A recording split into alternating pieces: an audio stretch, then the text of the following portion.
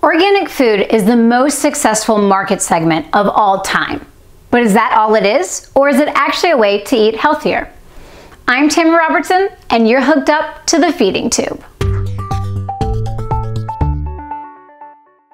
Welcome to the show that serves up the real facts behind pop culture food myths. Saying that organic food is healthier seems completely uncontroversial. That's due in large part to the millions of dollars spent over the last several decades by the organic food industry to convince you of exactly that. But organic in this context is really just a marketing term with no scientific basis. In the US, the organic industry used lobbyists to get the USDA to regulate the industry and then wrote their own regulations. That's not sketchy at all. The USDA National Organic Program, which is part of the Agricultural Marketing Service, has stated on its website, our regulations do not address food safety or nutrition.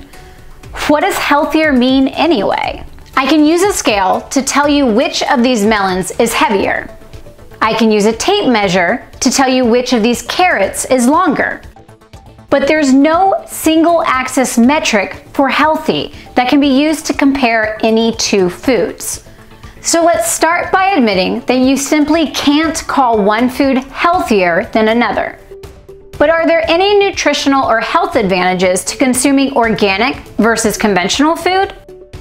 Turns out that's been studied for about 50 years, and the answer is a resounding, eh, not so much.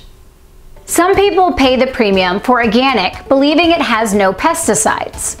In America, organic farming uses more toxic pesticides, often in higher quantities than conventional farming.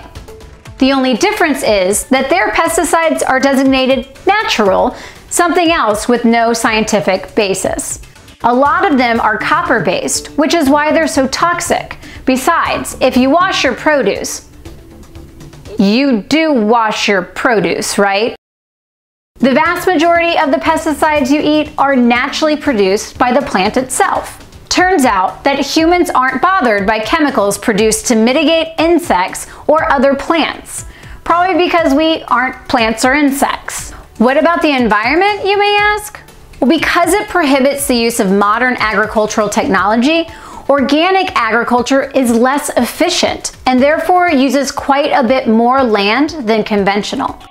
Thus, organic has a much higher environmental footprint. Organic food. It may not be better for you, but at least it's more expensive. I'm Tamara Robertson, and your feeding tube is out. If you enjoyed this video and want to see more, please like and subscribe. And you want to help produce the next video, make a tax-deductible charitable donation at feedingtube.tv and get your name right here.